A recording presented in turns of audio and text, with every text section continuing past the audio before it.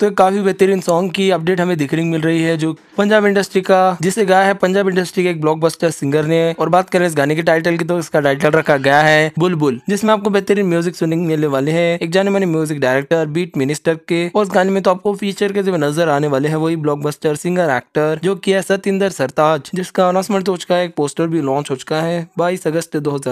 को और बात करें इस गाने की रिलीज डेट की तो है आपको सत्ताईस अगस्त दो को देखने मिलने वाला है